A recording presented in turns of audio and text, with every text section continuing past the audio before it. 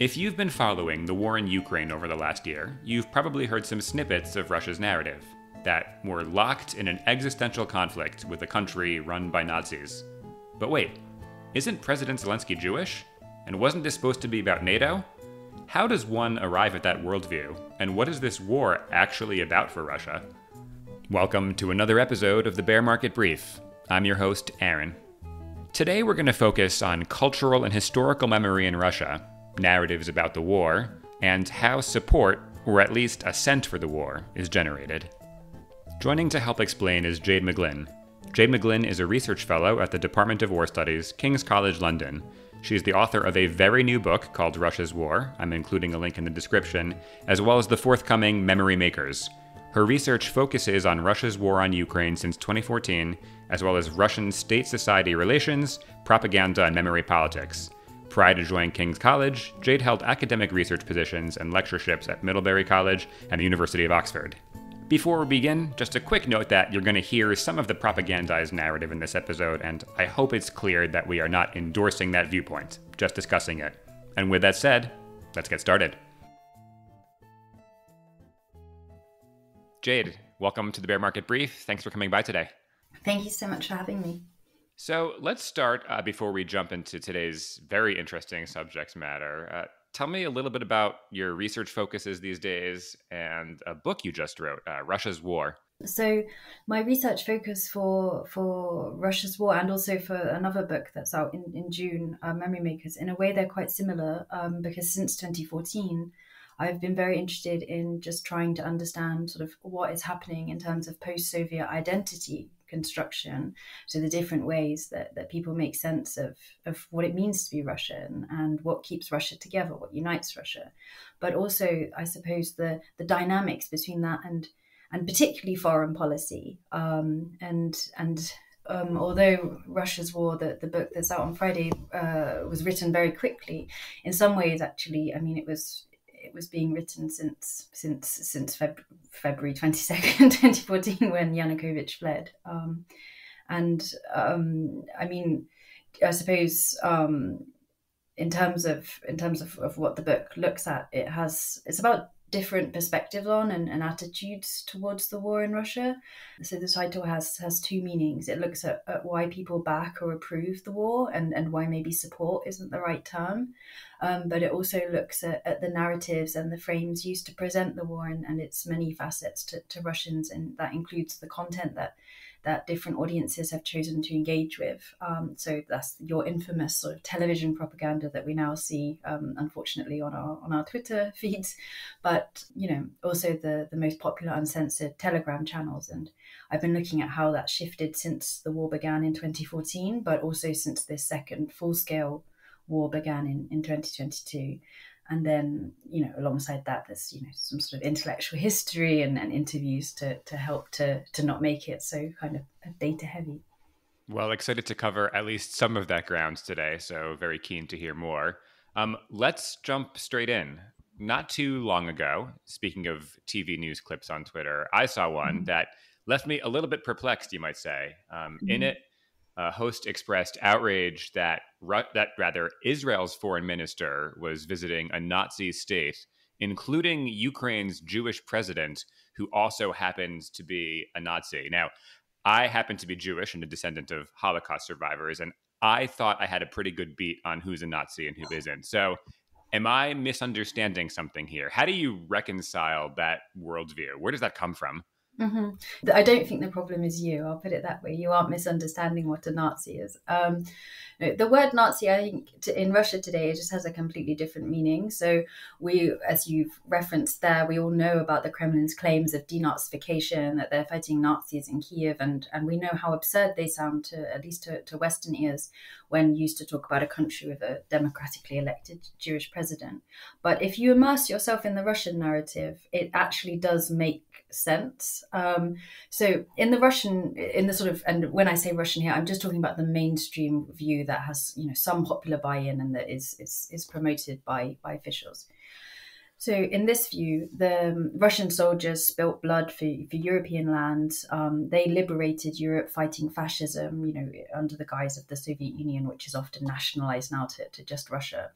And therefore, they have a right to at least some of that land and at least to a buffer zone. Um, and what you see here is in this way that the anti fascism of the war, of, of the Second World War, of the Great Patriotic War, it then begins to merge into one with a more generalized and imperialist sense of ownership over and right to other people's countries, other countries' territories, sorry, that is. That's clearly a central feature of Russia's invasion of, of Ukraine. And it's a sort of a retelling of, of, of the Great Patriotic War, where it's really focused on it's completely de-ideologized like much of russia's memory of, of, russian cultural memory about the soviet union so you don't have any of the kind of communist or anti-fascist element what you have is okay we fought nazis and that meant getting all of you know controlling all of this territory and so in a weird way because the anti-fascism element's been drained empty you just have the imperialistic land grabs and occupations that, that, that happened after 1945 and so 1945 sort of bestows upon Russia this, this moral right to do this. And that's why anybody who disagrees with Russia's interpretation of the war is essentially just branded a Nazi and is seen as a Nazi because they are disagreeing with Russia's right to control countries that it's had that, that you know that it at least in part earned through defeating Nazism in 1945. So there's there is a weird kind of logic, but I appreciate it's it's it's not that obvious. So I guess this this relates to as a bigger picture here the the role of World War II in you know, Russian mm-hmm. cultural memory and uh, how the state and how Russians see themselves. Certainly, something I bumped into uh, studying abroad in Russia back in the day. Um, my program leaders gave very, very strong advice as a general matter never to bring up World War II in conversation uh, they'd say that it would arouse a lot of strong feelings. And certainly when it did come up in conversation, it did. So I guess the broader question is is what does World War II mean in Russia today? Has that meaning changed over the years? Um, mm-hmm. It seems very present for a war that happened. Now I'm aware of the casualty count in, in the Soviet Union and you know 20, 30 million, but it was what 75 years ago. So explain the, the place in society it seemingly still has. Mm-hmm. No, that's it's very true, and yes, um, nobody warned me of that, and I, I wish they had. I remember being at, like a Borussia, I think it was Borussia Dortmund, or no Bayern Munich and Chelsea match, and everybody was doing like Hitler's kaput um, signs in the bar um, when when Bayern Munich lost, and I was like, "What is going on?" And I, clearly, I mean, perhaps you can't tell from looking at me, but I don't I don't generally hang out in like bad bars or kind of football football um, fug bars. But to come to a more kind of in, intellectual um, glance on things. Um, one of the very few things that unites Russia, that unites post-Soviet Russia, um, is, as a nation that, that, means that Russians belong together really is the memory and the pride um, in the Great Patriotic War. You know, there's a lot of trauma from the Soviet past and obviously from the Soviet collapse as as as well. And um, the Great Patriotic War gives people something to, to feel proud of after a period when um, you know people didn't feel very proud to be be Russian. Um, and the first thing to note, of course, is probably for, your listeners, is I'm referring to the Great Patriotic War, not World War II. So, unlike World War II, the Great Patriotic War starts in 1941, conveniently um, avoiding the, the Molotov Ribbentrop Pact. Um, and there's little space in the official narrative, but also in the popular narrative, um, for any discussion of the disastrous retreats, for example, in summer 1941. But of course, there's lots for the heroic defense of Moscow and, and, and Stalingrad as this epic turning point. And then, naturally, what Russians call the, the liberation of, of Eastern Europe um, from, from 1944 through 1945. There's very little mention of the West, and I have to say the same is obviously completely true of the UK and the US um, narratives. Um, so, you know, this is not to pick on Russia. Only thing that's really discussed, um, and Putin makes long, um, a lot of references to this in his his uh, 2020 essay on the the, the origin, causes origins, I think, of, of, of World War II. Um, so the references to the West suggest that they tried to bleed Russia dry by delaying the opening of a second front, and also to suggest that the US and the UK were actually, you know, on the verge of making a secret pact with Nazi Germany to attack Russia. And this is this features in very popular kind of Brezhnev era um, spy dramas. Um, but this this this theory, um, this kind of mythical betrayal, um, and it also features in, in, in current kind of popular films, and it it um, it's generally quite believed, maybe not as a fact, but as a sort of broader truth that you can't trust the West. The West are going to just kind of try and screw over um, Russia like they tried to screw over um, the the Soviet Union and, and eventually did screw over by, by destroying it in this in this kind of official history. Um, so what, part of the issue is the the large number of deaths, uh, generally sort of said to be around 27 million. Um, but of course, they're, they're, they're Soviet deaths, and they're often misremembered as Russians, even though proportionally the, the highest proportion of deaths is in Belarus, followed by Ukraine. Um, and but the idea is that these this amount of sort of Russian side, and that's what earned their right to sort of this a buffer zone, as we were discussing just in the previous question. Um, and anybody who doesn't agree with this interpretation of history or with Russia's right to a sort of sphere of influence similar to that which the USSR had after 45 is, is deemed, you know, as, as a Nazi because they're trying to kind of wish to amend the results of, of, of 1945. But one of the key things here, and you you referred to it in your question, is fine, we have this narrative, but really what we've seen is that World War II has become part of everyday life. And this is a genuine, this is a policy. It was, um, you know, a concerted action that took place since 2012, um, when Putin, which Putin declared the year of history. And it feels a bit like that year didn't end. Um, and you see this effort, both top down and bottom up. That's important. This was essentially what my PhD looked at. Um, to bring World War II into everyday life, to make it something that's that's part of the everyday, whether that's you know during school, fine, but also you know after school lessons, summer camps where you recreate battles or you conduct historical disinformation campaigns, murals across the country, um, different clubs and camps, films, television series, and often these are delivered by government affiliated organizations but the government is very good at concealing that it's connected to them and or it sort of takes over more grassroots organizations. So people often feel that these are completely bottom up citizen led movements. They don't see them as political or in any way connected to the government even though often they are or at the very least they're funded by the government which then has some kind of you know he who pays the he who pays the pipe decides the tune or whatever it is. Um, but yes um, and so you have this constant encouragement really of people to associate themselves with and remember um, the memory of the war which is presented you know in all of russia's you know whether or not it's the foreign policy doctrine the national security doc, uh, yeah the national security doctrine or information security doctrine the idea that this the truth of what happened in world war ii or great patriot war is constantly under threat from outside and I think really that this topic, the extent to which World War II is part of everyday life, but also the extent to which it's been securitized and is seen as something central to Russian identity that is under attack, I think that's been really greatly underestimated in terms of Western policy on Russia, perhaps because everybody feels like the idea of, of times of values and, and and and ideas are you know has passed, but the, the war is showing us. I think this war is showing us that that's not the case. So I guess a follow up question here, and I think this this ties into what's happened in, in Ukraine rather mm-hmm. well. Um, but at the onset of the war, um, Russia's columns that I guess thought they would ride directly into Kiev with no resistance, mm-hmm. these soldiers, um, many of whom did not meet fortunate ends, um, were wearing St. George ribbons. It was on the Russian military vehicles. At the same time, Putin has very frequently talked about um, Russia's kind of imperial legacy from long before World War II, from Peter the Great. These lands were ours before. So, is this about a buffer zone? Is this about the Russian Empire? Is this about something else entirely? Is there a clear narrative for what this war is actually over in, in Russia?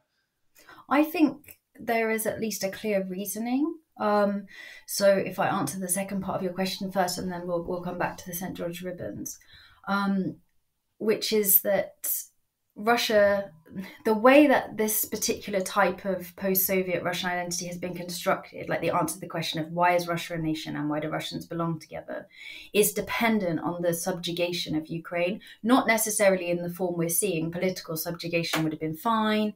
You know what sort of the, the situation in, in, in 2012, for example, of Yanukovych. Um, but um, and, th- and there are different reasons why it has come to this. But broadly, that idea that without Ukraine, um, the understanding of, of Russia, which is broadly as Russia as a great power that has its own special path, that has a mission, and that needs a strong state, you know, and, and a different path to that of the West, that doesn't really function without controlling Ukraine because why not? Because the entire like myth of Russian history starts from the idea that Russia is the inheritor of Kievan Rus.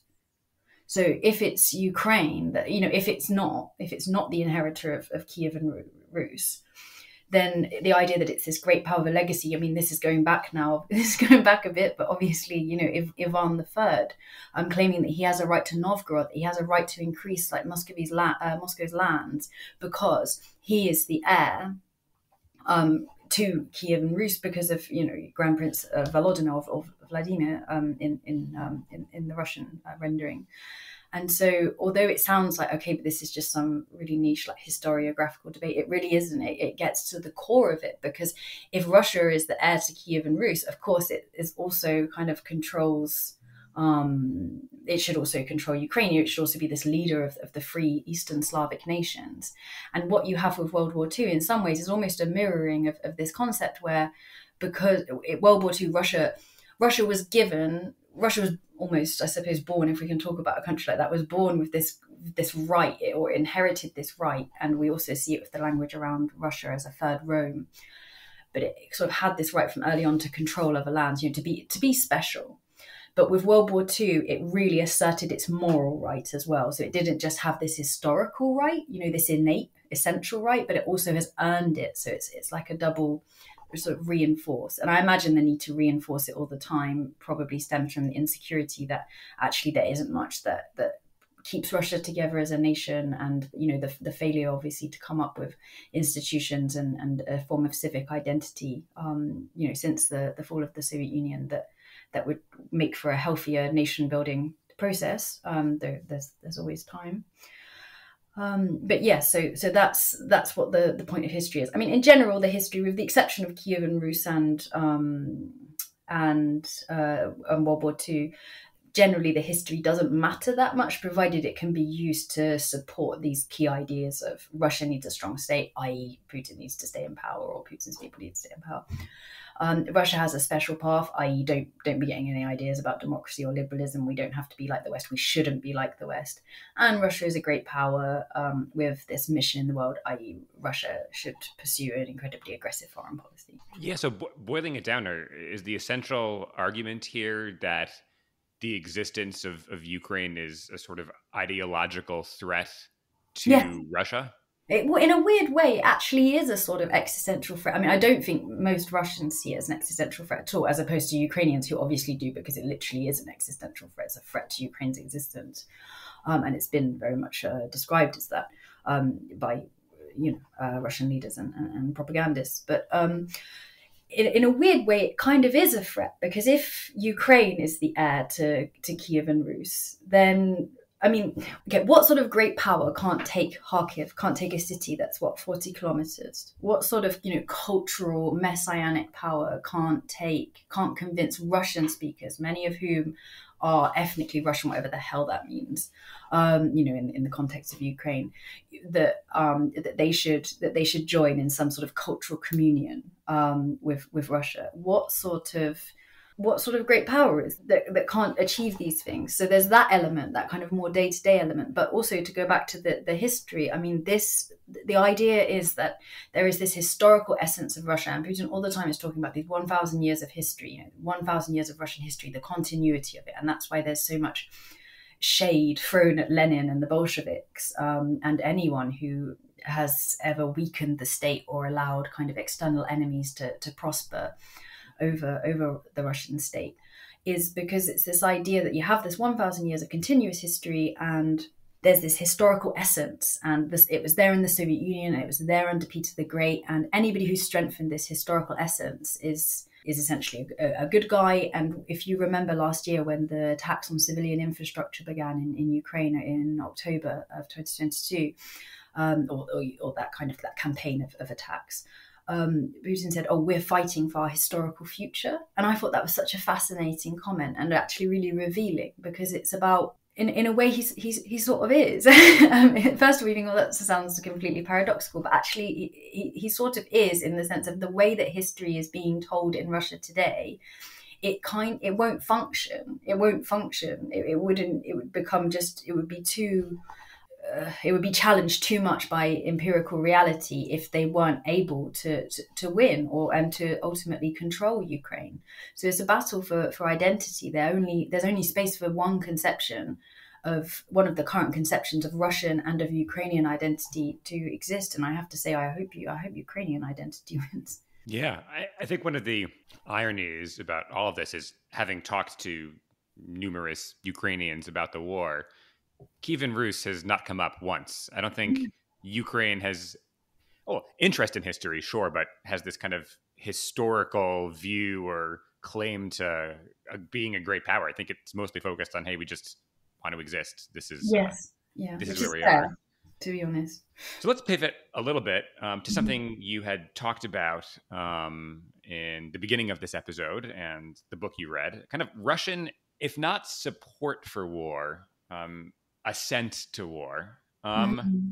You said support wasn't the right word. Why do you say that? Yeah, so I understand Russian sort of what we call support for the war. I don't understand it as support so much as like an acquiescence. Um, so if you'll allow me to kind of geek out just just slightly, please do. Okay, good. um, let's go. Um, no, the model I used um, is the spectrum of allies. So the original spectrum, like to understand this. So the original spectrum of allies comprises active support, passive support, neutral, passive opposition, and then active opposition. Um, and pressure groups and political parties use this, and they work on the assumption, or, or some do, that, that movements won't win really by overpowering the active opposition. So if you're like a green organization that wants to stop all kind of drilling for oil, you're not going to win Shell over. Just leave Shell. You know, there's no point wasting your time. How you win is by shifting support out from from under your your opponent. So the hypothesis is that don't focus on sort of active opponents and don't focus on active supporters as well because you've already won them. Um, you, to change views, you have to sort of acknowledge that most people are between somewhere, you know, between these two points, and try to nudge them further along the spectrum of allies. So from passive opponent to neutral, from neutral to passive support, passive support to active support. Um, and that's a more productive way of, of, using your time. Now, the Kremlin spectrum of allies, as, as, I kind of theorize it, it functions according to similar principles, but with some adaptation. So, this spectrum comprises um, active support, passive ritual support, your loyal neutral, essentially my country, right or wrong. You know, since we've started the war, we might as well finish it, etc. Your apathy, your apathetic types, um, sort of, you know, what might maybe don't like the war, perhaps in a dem- dem- in a democratic country would even sort of protest or certainly would moan more actively about it, but feel like they can't do anything. And then your active opposition. So clearly, notably in, in this version, that the Kremlin doesn't just ignore the active opposition; it's, it's set out to destroy it in a range of, of horrific ways.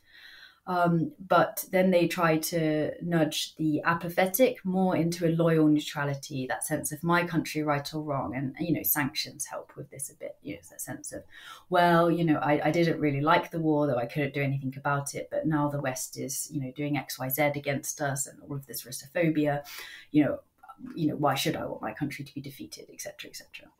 Um, and then you have your loyal neutrals. Hopefully, they can be nudged into more ritual supporters. And what do I mean by ritual supporters? So, this is important because a further twist in the Kremlin spectrum of allies is that it doesn't view active support as the ideal end result, but more as undesirable. So, it distrusts any freely made political act, even if it's in support of the regime. And we saw that with people who protested for the war who were arrested as well. I mean, admittedly, um, uh, none of them ended up in, in prison, but then of those of those who were detained at protests, very few statistically against the war, very few statistically have also ended up in prison. But. Would these be some of like the very nationalist Telegram channels who would like complain about Russian generals? Hey, like they're not doing this war well enough. We support the war, we want to win, so why are they screwing up? Um, yes, yes, you do have those people definitely, and you certainly had them in 2014, and that was part of the issue in 2014. Is things got a little bit out of hand because people wanted Donbass to be annexed, and the Kremlin didn't want to do that because it was a useful, useful leverage. Um, so it's trying to avoid that situation. But in fact, some of the people who were arrested um, or detained um, for protesting, I mean, they were just ordinary people who were just just wanted to protest war, but the, the peace, police just arrested them. Um, I can I'll send you some links. It's really odd because they're like, yeah, bomb Ukraine, and he's like, come on. Um, but but yeah, um, so it's interesting.